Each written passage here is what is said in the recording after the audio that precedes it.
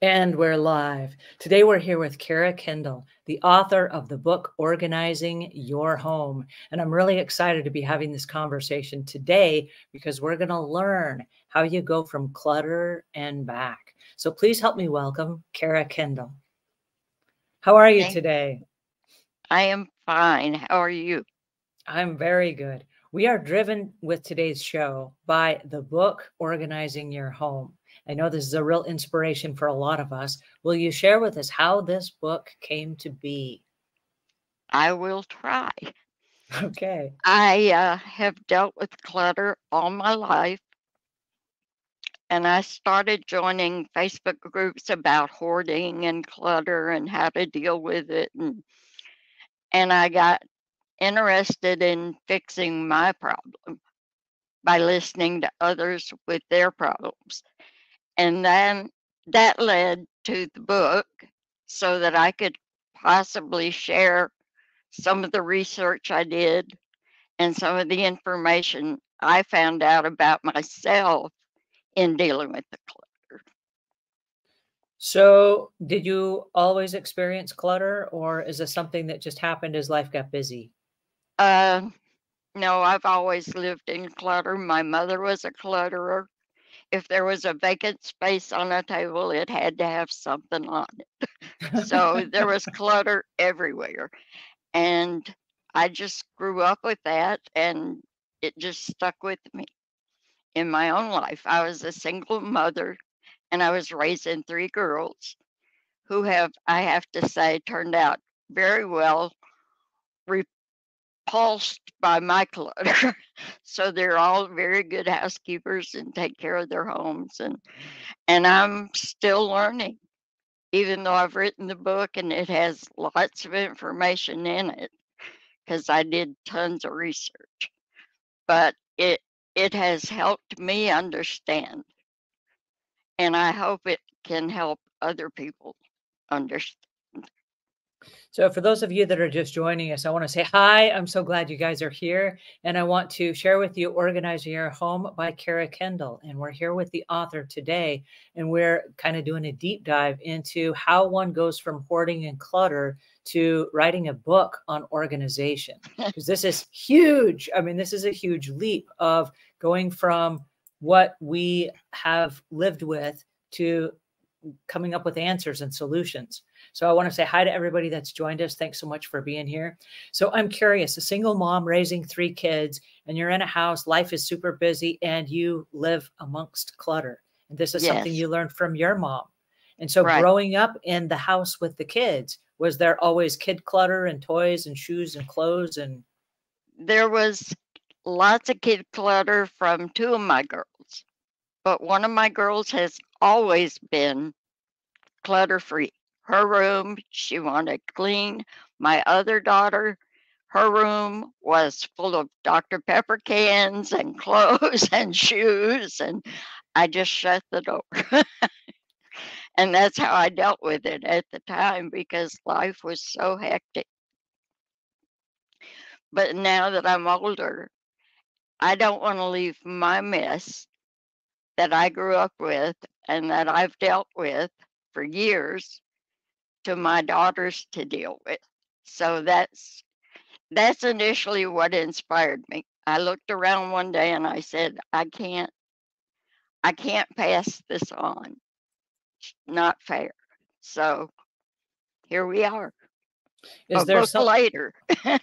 Well, and, and you don't just go from uh, my house is messy to having a book. There had to be some steps along the way. Oh, there was a lot of steps. I joined a lot of Facebook groups about clutter and organizing and and I talked to the people there and I found out what their issues were and how they were dealing and then I was trying to learn to deal and I did a lot of research online and uh, so when you were doing daughters, research when you were doing research, did you stop and then say, okay, this is a great idea. I'm going to go practice this in my house and see if I can make that work?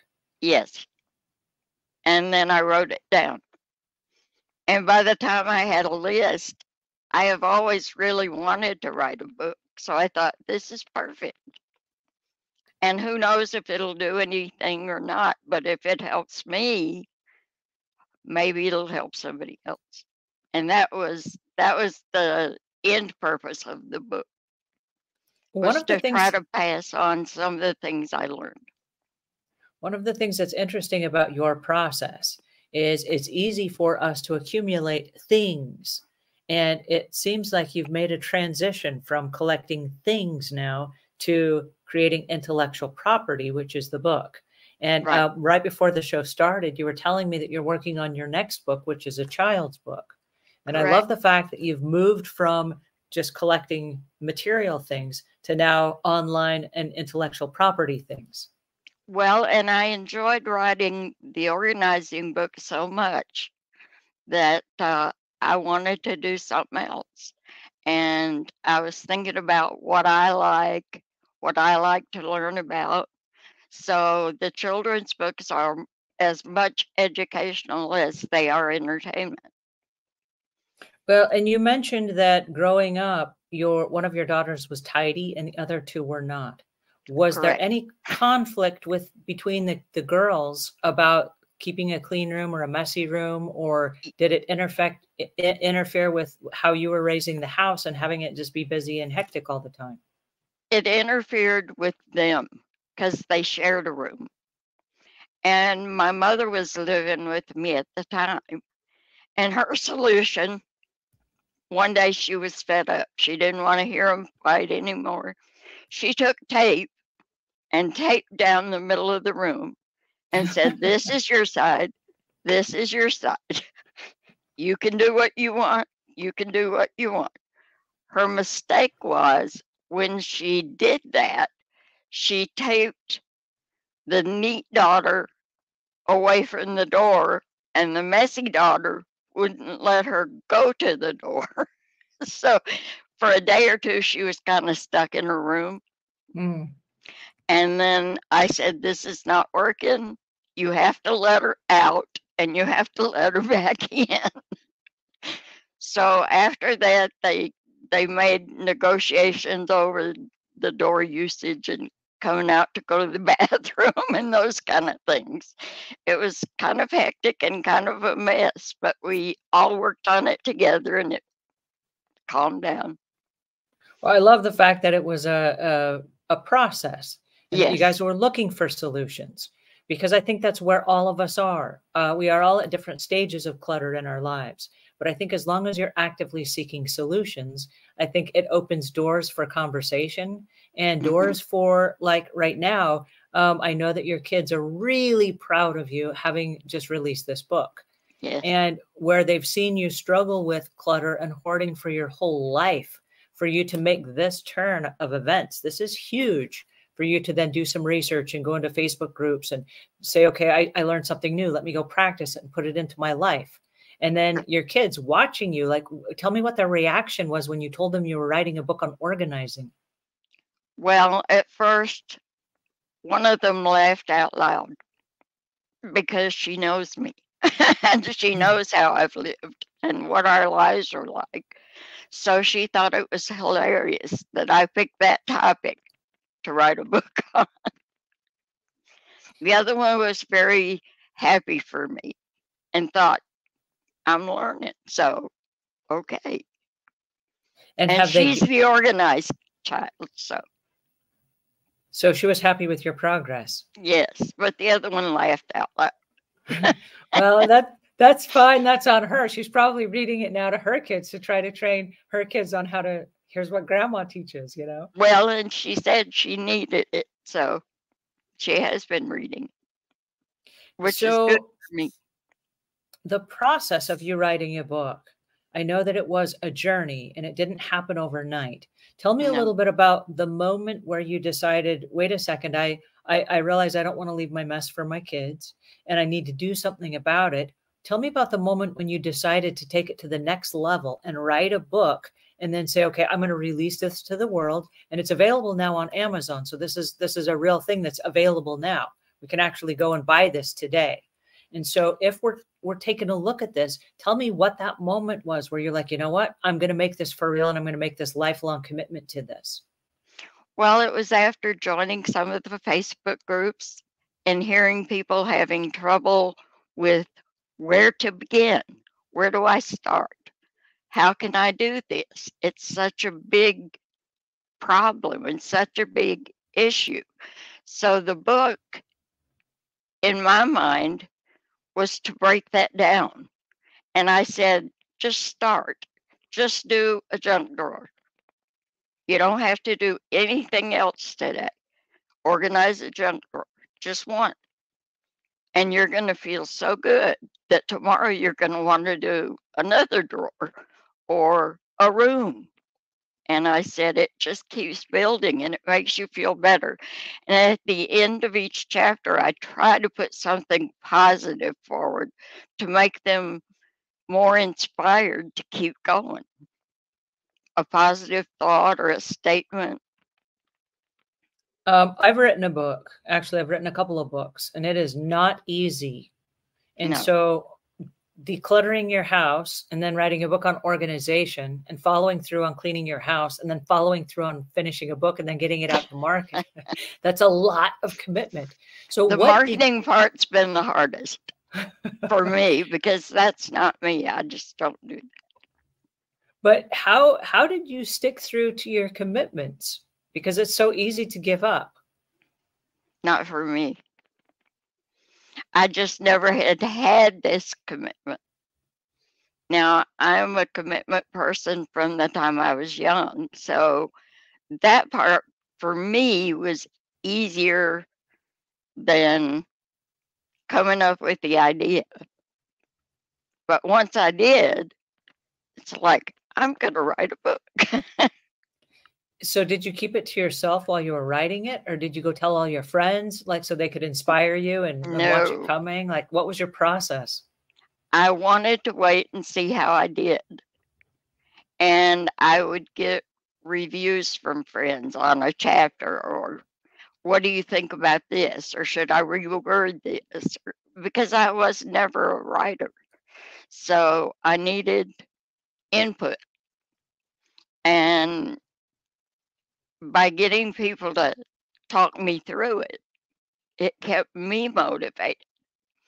And it was mostly my husband, I have to admit. He was he was great.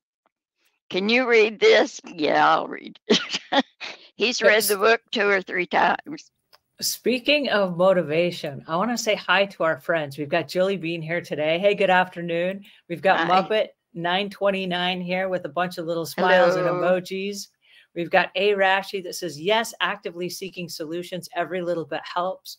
We've yes. got Sarah from Michigan. Hello from Michigan. Hi, Sarah. I just love it with the support that we get from this group because the people that have showed up here today are well wishers and they want to see you succeed. And I love that because there's a whole collective group of people that have been jumping in, especially in our clutter groups, that have been inspiring each other. And when That's we have great. Our Saturday donation where we take our stuff to the Goodwill or the Salvation Army and we drop it off. There are a whole bunch of people that are like giving little clappy hands and you got this and words of encouragement. And so it means a lot. So I, I love the fact that you went beyond just joining a Facebook group because that's that's that's awesome that you did that. But now writing the book, you just mentioned that you have a husband. And so, mm-hmm. what was your husband's role in supporting you in writing a book? Anytime, anytime I needed a proofreader or a critic, he was there. He would read it. He would give me suggestions on how to change it around a little, make it more understandable. But I learned a lot doing this book. So I'm looking forward to many more. Well, I'm so proud of you for doing it. But let's go Thank back you. to where you were young and you said you got mm-hmm. your hoarding tendencies from your mom. What kind mm-hmm. of an mm-hmm. environment did you grow up in? I grew up on a small farm in Tennessee, and our house had no running water, and so no toilet. Our we had an outhouse. Wow. and she worked at the shirt factory. My dad was a farmer, tobacco farmer. So they were both always busy. So from the time I was little, I just remember there being stuff everywhere. In our kitchen, we had a wood stove, and she cooked on that. And of course, my job when I got old enough was to do the dishes, which I hated and still hate. Even though I have a dishwasher, I hate it. But when you grow up in that environment, that's what you see as normal. And it just was always normal to me. And I can see now where my children probably would have been more proud to have their friends come over if the house had been neat and clean, if there hadn't been so much stuff around. But I have had a very full life, and there are a lot of things that I have that I intend to keep. So it's not, my book is not about minimalism. It's about doing it to the point that it makes you happy and finding your own style in uh, decluttering and and do it at your own pace. Don't wear yourself out saying I got to do it in a month or two weeks or whatever. I said find your own pace and just set goals and every time you set a goal, remember you're going to have incidences where you don't make it, but don't give up.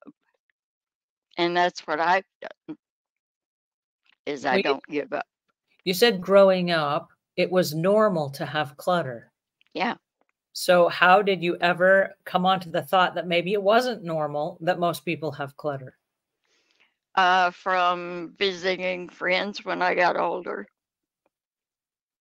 and seeing their homes nice and neat and everything clean and it's just something I figured out, I guess, over time.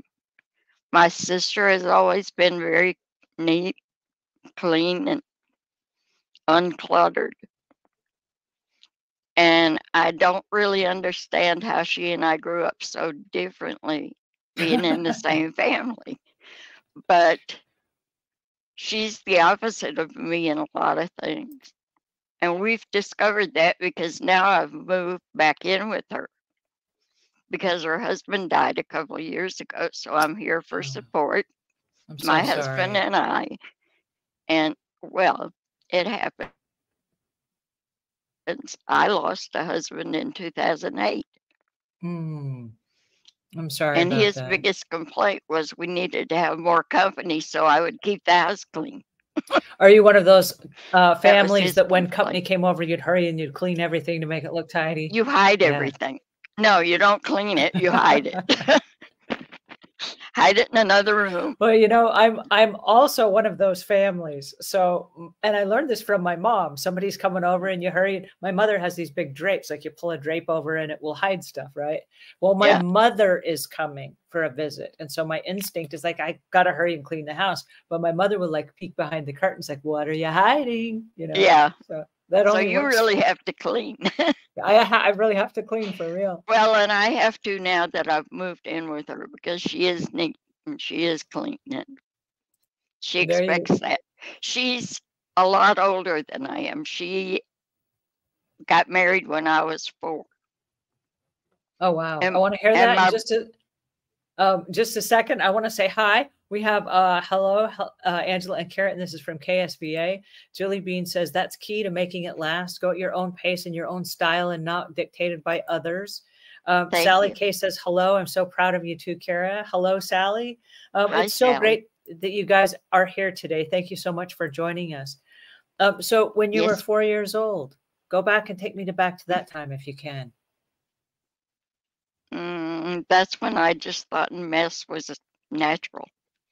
And when my sister got married, she moved into an apartment and it had carpet. I had no running water and we cooked on a wood stove. So I thought she was rich. She had because carpet. she had She's carpet. Rich. There yeah. you go. But she's always been neat and tidy and I guess she was rebelling against my mother and I was accepting it as the way to be. Well, now at some point, and this is kind of a turn of events, your mother came and stayed with you. Yes, and then she, she makes a was tape- ill, and she, she makes tape down the middle of the girls the, the their bedroom to say you stay on your side and you stay on your side so did she learn how to tidy up at some point along the way No. Oh I would come home from work some days and she had made a pie and there was flour from one end of the kitchen to the other. so she never learned that. She did that to stop the fighting. She didn't like them arguing all the time. so she had communication skills but not organization skills Right. And So I did she didn't learn any of that from her, really. did she ever figure it out while she was alive or did she just that was just the way she lived forever and then y'all Well, she it got your sick and had a stroke, and she lived with me then. But of course, she was in a wheelchair; she couldn't maneuver, and so she she never really figured it out. If she did, mm-hmm. she never put it in practice. i'm so sorry Oh, it I- I- happens. it's life. i wish she would have had the joy of knowing what a neat and tidy house was like Well, people are going to think I'm crazy, but I talk to her once in a while. Well, I'm sure she's looking over your shoulder now and she's cheering you on and she's She- saying, Hey, go, Kira. This is awesome. Yeah. She was an amazing woman, really. She she worked full time and during World War II we lived on the farm and they had uh what do they call it when the army comes and bivouac not bivouac. What do they call that? I lost the word. Anyway, the army was there down and she wrote poetry. So one of my next projects is to take her poetry and turn it into a book. Oh, wow. What an honor. And that's a way to respect her to me. She was a very romantic person, but you would have never known it. well, one of the things that I like that you just said, and I think it's really important for us to pay honor to this, is you said your mother lived a very full life. Mhm. And even though she was a clutter bug her whole life and never figured out how to be organized, she figured out a lot of things like communication and the importance of family. And she wrote poems. She was she was an amazing person as far as creativity goes. And so it is possible to live a full and exciting life in spite of the fact that there's clutter. Is that what I'm hearing you say? I believe it is, but I think reducing the clutter has helped me, as the book says, organize, save time, save money, and love your home again. Mm-hmm. Because at times you just see it as being there, you don't love it. So Well, and now I love it. Well, and as somebody that has seen both sides, you've seen the the messy house and you've seen the house that is clutter free or it's more organized, and Mhm. you're choosing you're choosing intentionally. I, I like the other one better, where I don't have to leave all the stuff to my kids, right. and that's a sense of responsibility. That's important to me. And so, what made you decide that? just looking at the stuff, I'm like, they don't want this. They don't want to deal with this. so I should deal with it so they don't have to. It's a love of my kids that Well, that. One of the things that I know about my own personal junk, and I'm going to say junk because Yeah, it around is me, sometimes it's it's just junk to me. Sometimes I don't know what to do with it. And then I say, well, wait a second. If I don't know what to do with it and it's mine, what on earth is anybody else supposed to do with this stuff? Because if I don't know what to do with it, no one else is going to know what to do with it either. I I'm the best person to make this decision. Right. And I, I I I have some cool stuff that's it's really junk. And I was trying to get rid of it one day. And my husband says, Don't get rid of that. That's still good. And I said, It is good, but let me ask you this question. Because this shirt that I'm trying to throw away, it doesn't fit me anymore. I will never wear it again. And if and he's much larger than I am. I said, Mhm. if something were to happen to me, would you wear this shirt? He's like, no. I said, well, what I'm never going to gonna wear it again, right? If I'm never going to wear it again, and you're never going to wear it, why do we have it, right? Like, let's let's let this on its way. So, And the first day I worked on things, I went through my closet and I got rid of six boxes oh wow. of clothes that I had been holding on to because I might get in them again or might come back in style or whatever. And they don't. And you don't need that because I've got enough that I can go out and buy a shirt if I need a shirt. so it helped. That day made a huge difference. Getting rid of six boxes getting- is yeah. huge. And they were my clothes and my husband's clothes. So not all me. And I still have things I need to let go of. But you know how you have that favorite thing? just one favorite thing and you just can't let it go. Okay, so let's at, let's talk about the one favorite thing. If you have Okay. one favorite thing and it's only one, is it okay to keep it? That's hard to answer because if you love it, and see, I always thought, well, I can use it and put it in a quilt, Mm. or I can sew something else with the fabric and I'll know I can make a pillow, or of course, I never do. And now that I have the trimmers, I I don't sew much anymore. So I need to let go of a lot more. But you just made a really important correlation there. You said since you have the tremors and you're not sewing, that frees up a whole lot in your life. Where suddenly Mhm. you say, okay, well, then if I'm going to have this made into a quilt, I'll probably outsource that to someone else. Yes. So holding on to that, that goes in a pile of I'm going to hire somebody to make that quilt, or it's not going to get made. Therefore, I can get rid of that one thing. And I And- think I'm more leaning toward it's not going to get made and just let go. Well, and as I started looking at my own life that way, I started having some really honest conversations with myself And that's hard. about am I ever really going to do this? And I started looking at how I spend my time because I love to sew. And when I grew up, Mhm. I was going to be a, a, clothing designer. That's what I was going to be when I grew up, not a house cleaning lady. so as my eyesight got worse, I said Mhm, to myself. I just I just don't see as well as I used to. And those stitches are really tiny, especially if you're trying to like u- I unravel can't them or thread a needle. yeah, I can't either. I can't thread the machine. Yeah, I can't either. So And then what do I do? tiny- Hire the ti- somebody to come and do that, or All right. Ridiculous. But for me, I started looking at my free time and I said, when nobody is around and I've got a Saturday to myself, do I sit down in front of the sewing machine? I'm like, I don't.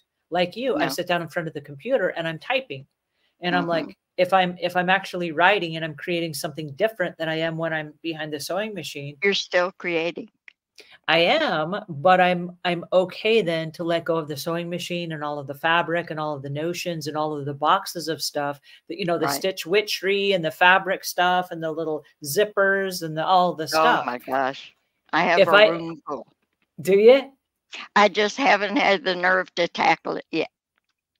Well, but for me, it was a conscious decision because I was like, you know what? I'm not, if I'm not coming back this way, if I'm not going to be mm-hmm. sewing again, why am I saving all the stuff? And like you, if something happened to me, it would be my husband that had to go through all my stuff and then trying to make decisions on my sewing stuff. And like like we talked about earlier, if I don't know what to do with it, he is not going to know what to do with it, you know? Not a clue. Let My daughters kids and don't sew. grandkids. They don't sew. They don't want it. I offered it to my niece who is going to be a dress designer. She doesn't want to do quilts. And most of what I have is quilt fabric now because I've been quilting for about 20 years. So it's time to let go of it. Now I have two sets of fabric that I want to quilt for me because mm. I don't have a single quilt I've made. I've given them away and I've sold a few, and I just don't have any. So I want those two, but otherwise, I need to go up. It's upstairs. So I need to go upstairs and spend a week weeding out, finding out who I can donate it to, or maybe a senior center, or I don't know. I have to figure that out. Have you used Nextdoor at all? No, I haven't. So Nextdoor is an app, and I found great success. I've been working with a lot of the ladies in the neighborhood on getting rid of some of their stuff. Mhm. And we've had great success at taking a picture, like we'll take the fabric that we're not going to use and we'll Right. put it in a box and we take it to the end of the driveway. If you can't get to the end of your driveway, we found putting it on the front porch works just as well. But what we'll do is we'll stand back with a smartphone and we take a picture, like if it's at the end of the drive, that's right near the mailbox. So we Mm-hmm. take a picture of the mailbox number so people know what house number it is. Where it and is. we've we've got a picture of the house in the background. So it's this number on the mailbox in front of this house. And we we take it so you can see the box at the end of the driveway. Then we put a note and we say you know six bolts of fabric or whatever it is. And we say first come first serve and then we say no returns like do not return it if you change your mind if you come and get it it's yours and it. if it's for sale, that's great. But if it's for free, we just say first come, first serve, and then we post it. And Oh, I cannot tell you, I think the longest we've ever had something sit in the drive is 26 minutes. Really? That's it. Yeah, it's gone. Like That's people just come and amazing. snatch And it what's up. the name of the place? It's called nextdoor.com. And it's a marketplace that's connected to your neighborhood. So it's your oh, neighborhood and then like the neighborhoods outside of that. And I always go like it says, do you want all the neighborhoods to know about it or just your neighborhood? And I say, tell all the neighborhoods. You know? Everybody. Yeah, let Come and get it. Anybody can come get it. And I always make a note. There's no need to contact the homeowner. Like they don't need to text me back and go, "Is this No. for real?" Just come get it. And there's no need for them to like knock on the door and go, "Are you sure you don't want those six bolts of fabric?" Yeah, because you don't want to rethink it. But uh, every single time, and we do this several times a year, we go through all the cupboards in the kitchen and we pull out all those pots and pans that we don't use that Mhm. were our mothers and our grandmothers, and it was from the first marriage and it was a wedding gift or whatever. And we've had it for 20 years, but we've never actually used those pots and pans. We put all Mhm. that stuff in a box and we just take a picture of it like, hey, we've got a whole bunch of pots and pans. If anybody has a, co- a kid going to college and needs some pots and pans, sit at the end of the driveway, Right. boom, here's the picture. Come get it, no returns. And it's That is a really great well. idea. I'm going to Uh, check into that. We have a list, and I don't have it connected to this show, but we do have a list um, that I will leave links in this show when this is over Okay. of all of the um, the places that come and they pick up from Mhm. your home. And I know that there are a lot of places that have a truck and they will come pick it up right from your home if you're unable to get out and go to a donation center. So that's helpful as well. But that lets you know how much fabric I have if it's going to take me a whole week. I mean, I have drawers and drawers and shelves and shelves. And so, yeah, that's a good idea. But having written a book and being dedicated and on this lifelong journey now to make a difference, I have no doubt that that week will will be well spent as you go through some of those things. Well, another thing to say about my husband he's read the book several times, and the first time he read through it, it inspired him to clean up his office. and I was so happy. Three cheers for him. So, yeah, Oh, that's awesome. So uh, Bianca says, uh, Blanca, Blanca Tapausko says, thank you for saying if I don't know what to do with it, then I shouldn't expect my husband and sons to know what to do with the excessive stuff. And thank you for bringing that up. It is so important for us to realize that sometimes, not easy, but sometimes we are the best person to actually make the decision on what happens to our stuff. Yep. And Kathy says, I inherited four huge steamer trunks from generations of family. I'm finally at the point that I'm going through them and I'm getting rid of items. Kathy, good on you. That's so Yes. inspiring. I love that. It's not easy, especially when they're inherited it's from not. other uh, family members. Uh, Kay says, I have my mom's old heavy sewing machine in addition to my machine, and I'm trying to find someone to give it to. That's great. I Um, think I have a niece who's going to get my sewing machine. Oh, that would be so awesome. She likes to sew. So I, she could do that even if she doesn't do the quilt thing. And she would probably really appreciate the sewing machine. I know Mhm. when I was young, I wanted a new sewing machine and I didn't have the money for one. And so I used the one at the local community college until I could afford one. And Ah, then one one day I got a roommate and the roommate had a sewing machine. I was like, ah, a sewing machine in my house. I know. Super cool. I learned but- to sew on a treadle machine. Oh wow. I was five. Was it a singer? Yeah, Yeah. I wish I had it now. My Just my put- mother Put had it in a the living room or something, you know. My mother had a treadle machine and it was it was so awesome and it folded up into the cabinet. You open it up and yeah, oh that was awesome. Um so now that you've written a book, how has your life changed in terms of being aware of the things that you bring into your house? Oh, I don't buy nearly as many items or junk as I used to. If I travel, I don't have to bring everything home from the trip. So I don't have to have that kind of uh, stuff. So when you go shopping, what is different? Do you use a shopping list or do you do you know exactly what you're going to buy before you buy it or do you just not impulse buy? Like what is your process? I do not impulse buy very often. And if I do, it's something that I've forgotten I really and truly wanted and Mhm. needed. So I don't, when I do grocery shopping, I make a list, I order online, so it's all there. I don't pick things off the shelves and just a lot of things like that help. My kitchen's not so cluttered and my food stores are not humongous anymore. They're just what I need. And so do you have any rules about stuff that is not allowed to come into the house? Like I have a rule and Mm. my rule is a 5 minute rule. If I need something and this is goes into impulse buy. If I walk past something in a store and I'm like, "Oh, I got to have that." I have to stop and ask myself, "Did you need that item 5 minutes ago?" And the answer is usually like, "No, I didn't." So I Um, don't need it now. Can you live another 5 minutes without it? And oftentimes I'm caught up in the moment. I'm like, "No, I got to have it right now." Well, if I I, do ask those kind of questions. If I And it didn't need it five minutes ago, chances are you can probably live with it forever without it. Walk away. And I make myself walk away. So I, I ask myself the five minute rule. I've And cut I'm down to one purse. Nice. I don't have to change things out all the time. Yeah, that was a great move because I had like 20. so every time you change clothes, you got to change a purse and you got to move everything. I don't do that anymore. So I'm saving time. It's all love in one that. purse and it's a purse that'll go with anything I wear.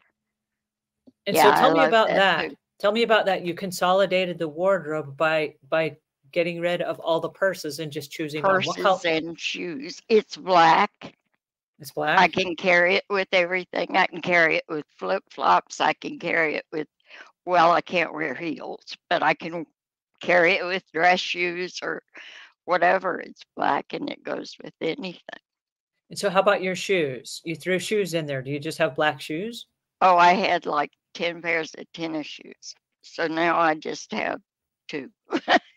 Okay, so you got And comfortable shoes that will go with the black shoe purse. and one is some nice tennis shoes I could wear to my grandson's baseball game or, yeah. I love that. yeah, me too.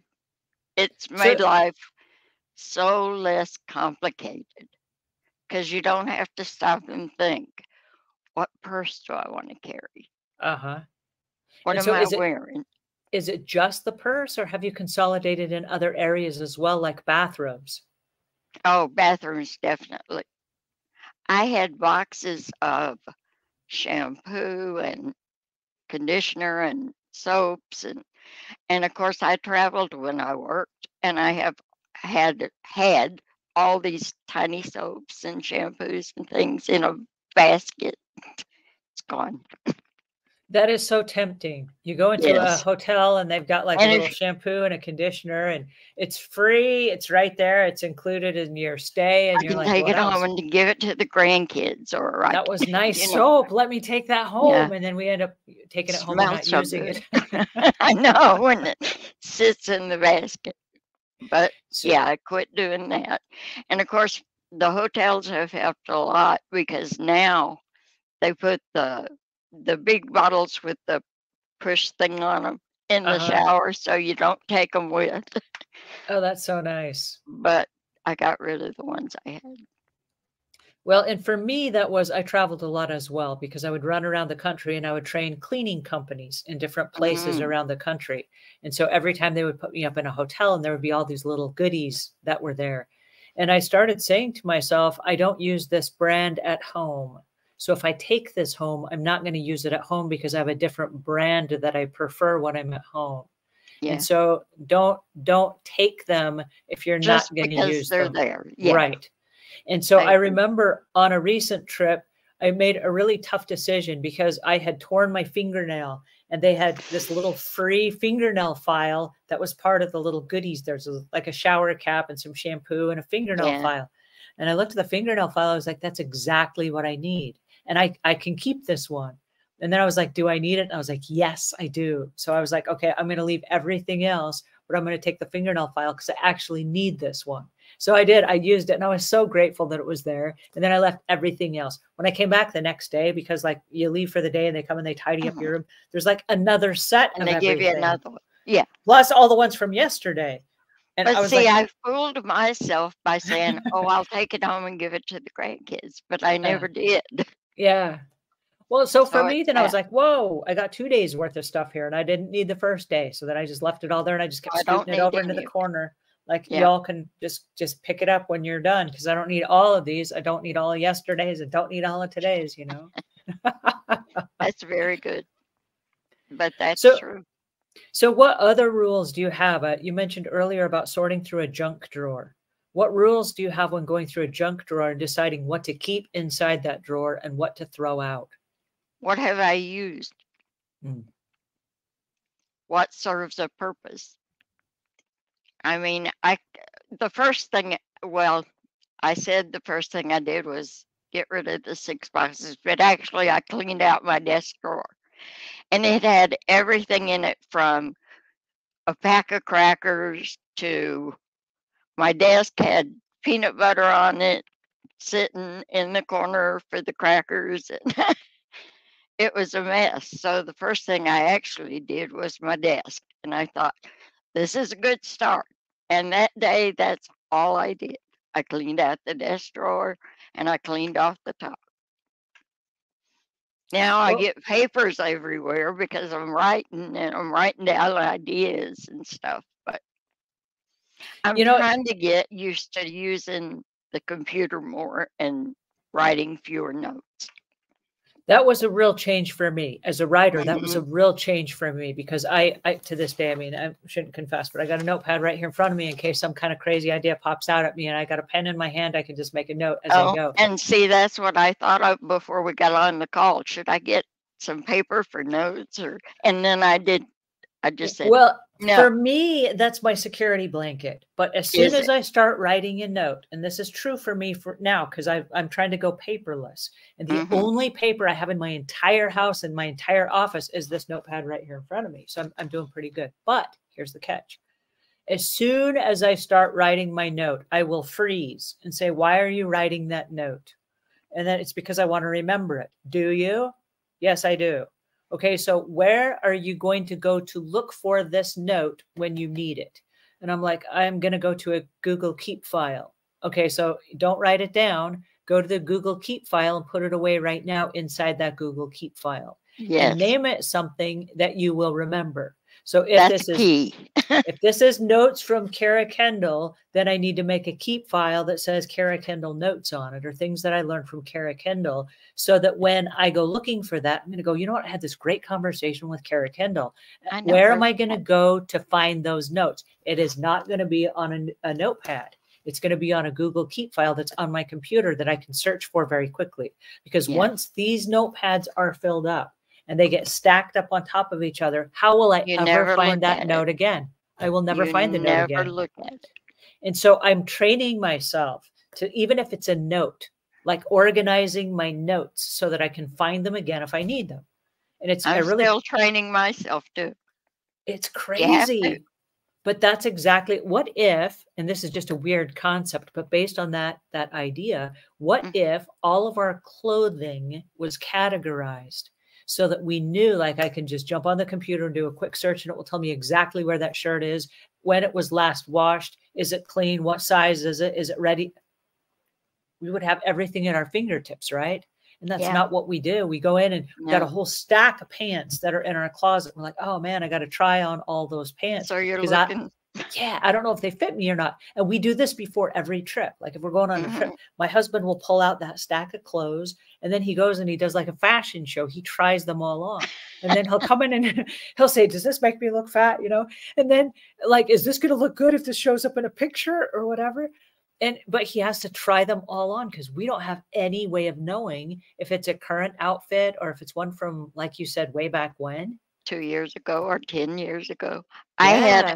I had a suit when I worked. That was my customer suit that I would put on for meetings. It was purple and I loved it. And it was in one of those six boxes I got rid of because it was a size six and there's no way I could get in that. Nor Well, do I may- hope to ever get in that. It, it sounds like a lovely suit, but you probably made the right decision because It nobody's was wearing because suits it's right out now. of style and Yeah. Well, and I know for me, the 80s was a really fun time. And like Yes. my hair today, we just we made our bangs go up and then like we sprayed them while we were hair and blowing the them with the hair dryer. Yeah, we had like big tall hair that was, you know, woo. Shoulder And pads. yes, and those big balloon pants and Yeah. flowers on everything. And I had a lot of clothes that made me really happy from the 80s. And I hung on to it way too long. And as I as I started cleaning out my closets, I asked myself this question. I said, is this outfit something that I'm running towards or something that I'm running from? And I'd say, oh, I'm running from the 80s, not towards it. Okay, great. Let's get Yeah. rid of all the 80s clothes, all the 90s clothes, all the 2020 clothes, because we're not going in that direction. That's in the past. We're running Okay. from that, not running towards it. Very good. I'm gonna have And to that- keep that in mind and go through my closet again. That was our barometer. If this is something I'm not running towards, ah, out it goes. I agree. And I do talk in the book some about organizing your closet, put all your jackets together, put all your pants together, or code by color in the closet, shirts, however however makes sense to your brain. And for your brain, what makes more sense? Is it by category or by color? category. I like to keep all my shirts together, my t-shirts together, my pants together. So that works for me, but I don't try to tell anybody through the book that that's how it has to be done. I want to give them options in the book so that they can pick what fits for them because our brains don't work the same. Well, I know for me, I I grew up in a home with seven girls. There are 7 mm-hmm. of us girls, and we shared each other's clothing. And so Yeah. I didn't really have any of my own clothing. And so when we I moved out on my own, I was like, "Whoa, I got my own space now. I'm going to go ahead and I'm going to buy all kinds of clothes for myself. You watch me go. I'll make my own clothes or I'll buy my own clothes." And I just bought tons of clothes. And I was really into clothes. But it became kind of a a, a dumb thing when I realized that I have so many clothes that if I wore a different outfit every single day, it would take me more than a year to Mhm. even wear all my clothes only once. Like, what is that? And I'm storing all these clothes that are quickly out of date, and then they may or may not fit me when I try to wear them again. And so I simplified my life. I'm like, well, that doesn't really speak to my life. I mean, I'm a house cleaner and I wear the same uniform every day. Most of what I wear is like this, right? I Mhm. got like a few of these shirts, but that's pretty much all I wear. So I consolidated. And what I said was if I'm going out, I'm going out with friends, I'm going to a wedding or a funeral or something fancy, I'm probably going to get by in a little black dress. I can probably get by with a half dozen little black dresses of different mm-hmm. styles and personalities. Right. I, I can get by with a shelf of, you know, clothes that all kind of look the same. And I, I, I have this, I'll show you this and don't make fun of me, but this is my closet. And so I got all the blue shirts. It reminds the... me of Monk. Did you ever watch Monk? Monk? I love Monk, yeah. His closet looked like that. It was like suits and they but, were all the same but it made it so easy for me because what and what we're seeing in this picture and this is funny i'll explain it but i've got size four size six size eight and then in the pants five size four, four size six, six and size eight. eight and those are the only sizes I keep. So my norm is about a six. And if I lose a little bit, I'm a size four. And if I gain a little bit, I'm a size eight. And that's true for the shirts and the pants. So I always have yeah. the skinny and the fat clothes all there in the same the same wardrobe. And if yeah. I'm a little big or small, but I got rid of all the size 12s and the size 16s and the size zeros and and everything yeah. that wasn't in that range. And then I got rid of all the extras. And like you, I do the, the comfortable tennis shoes and mm-hmm. I wear indoor shoes. So I wear like indoor shoes in my house. So I always have the foot support, right. the arch support, and all that stuff. And then if I go out, I got black shoes on and a black handbag. And so I am a barefoot girl from the farm, so there I hardly ever have shoes on. but so finding... that's when I decided I don't need all these shoes because yeah. I prefer not to have shoes on. well, and if you have a preference and mm-hmm. if you have a process it makes streamlining everything so easy because what happens for me is this, and this is kind of a weird byproduct of my streamlining my closet. Mm-hmm. When I mm-hmm. go into a store and I see a yellow sweatshirt on sale, it now would never cross my mind to buy it. Is it a blue shirt? No. Is it a little black dress? No. Uh, not for me. Do I need it? No. Yeah, no. And it, just because there's cool stuff on sale, it's not cool for me because that doesn't fit into my pattern. Right. Right. That's those are good points. I still need to learn. Um, Kathy says my goal is to create a capsule wardrobe, and I think a capsule wardrobe is something like what we're speaking about, where you're you're consciously making the decision. Rashi right. says. A Rashi says my parents write stuff on pieces of paper, but don't have a spot to keep any of them. When I ask them where they'd look for the info, they have no idea. Mm-hmm. And I mm-hmm. think that is typical of so many people. I know it was for me. I'd written all Me these too. great ideas down, but that if I didn't index them by putting them on the computer where I could search with one keyword and find it. Right. That's me. And what I'm using now to organize my notes and things is OneNote. Yes. And you can create separate files and different pages in the files. And all I have to go go to is OneNote and go down the line and I can find it. So um, I'm working on it. But last week I did take a page full of notes and you don't want to see it. It's already in the trash. So um, so one of the things that I love, and this is I also used OneNote. I used to use OneNote for all my notes and I switched over to Google Keep for this reason. If you're not familiar with Google Keep, Google Keep is absolutely free. It's part of the Chrome. And if you go to your um, Google Keep, there's a little tiny keypad up in the corner and it has mm-hmm. nine little dots. And if you click on those nine little dots, it opens up a window and it has all the Google products in it. And in the Google products, there's a little tiny yellow app with a little light bulb on it. Wow. that, that light bulb is Google Keep. Here's why I like it. I can write notes on a, a legal pad and I can take a picture with my smartphone and it will go straight to my Google Keep and it translates it all into text like it types it up for me. And I'm like, whoa, that's nice. And that's so excellent.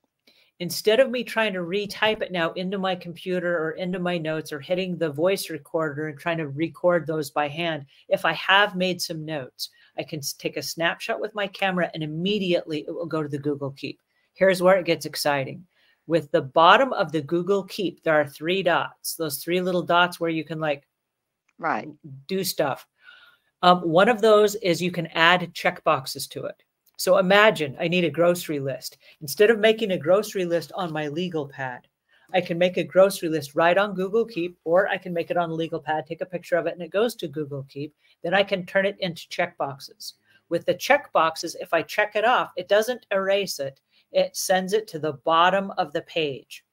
Then, if I ever want to use that same checklist again, I uncheck it and it goes back up to the top of the list.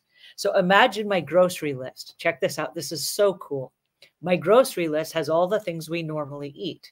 And mm-hmm. as I want to send, oh, my husband to the store, not me, I add his email to the bottom of the checklist and it mm-hmm. automatically shares it to his Google. So now it's on his phone. So instead of him texting me saying, Hey, I'm at the store. Do we need anything? He can open up the file and we call it groceries. So he opens mm-hmm. up the groceries file and it has all the things we need bananas, eggs, whatever, all the way down the list. And as he puts them in his cart, he checks them off the list. So I don't need to micromanage. I don't need to wonder, did he buy them while he was at the store? I open the file and I look at all this stuff that's checked off and I'm like, I guess that's what we have. He and got so, it. Yeah. And then if we run out, like let's say he's at work and I used up all the last of the eggs, I go to the checklist and I uncheck it and it goes back up to the top again. So now next time he's out grocery shopping, he looks at the list, he's, oh, I guess we need eggs again. So it saves us from all this back and forth. Oh, I forgot to get this at the grocery. Do we need this at the grocery? And it's it's all right there. And I love it for that reason. This. Here's the really cool part.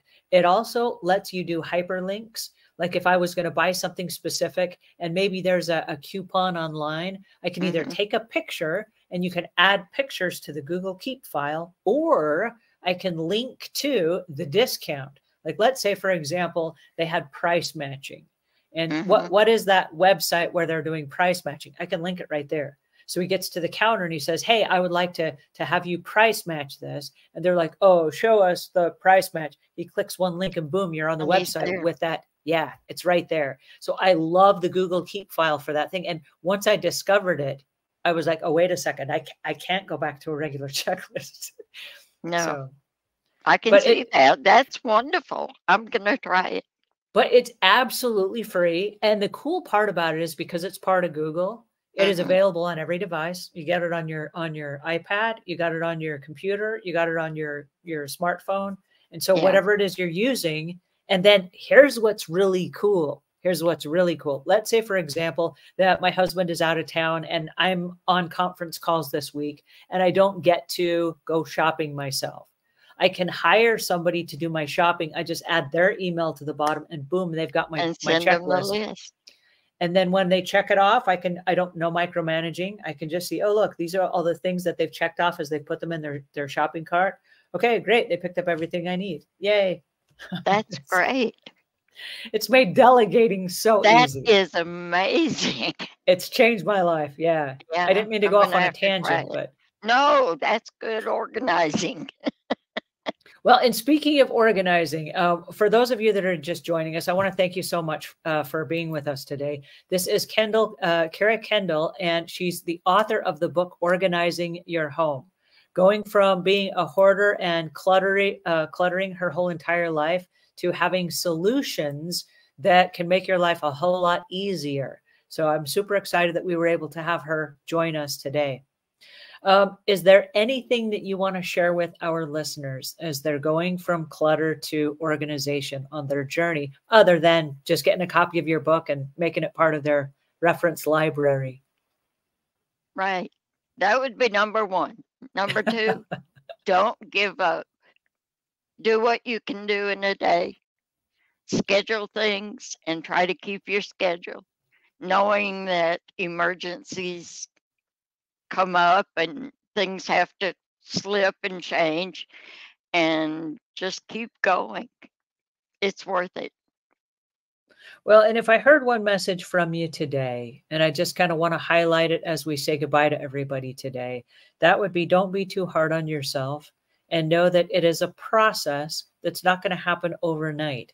But if you mm-hmm. stick with it and you're consistent in your progress, that you will see um, progress over time. Right. And be forgiving of yourself Otherwise, you'll just want to throw up your hands and quit. And we don't want that. We want you to mm. keep going at your own pace, in your own time, and in your own method. Because so many people say, okay, do this within a month or whatever. I want you to find your pace and go at your own pace because I know I can't go at somebody else's pace. I know what I can achieve.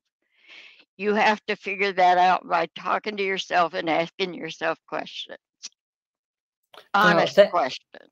Thank you so much. And uh, uh, CM says you're brilliant. New subscriber here. And Muppet 929 says thanks for the stream. You guys, thanks so much for being here today. This was the highlight of my day. I've really enjoyed you guys. And thank you so much, Kira Kendall, for joining us. This was thank this was you nice. for having me. I've I've truly enjoyed the whole time.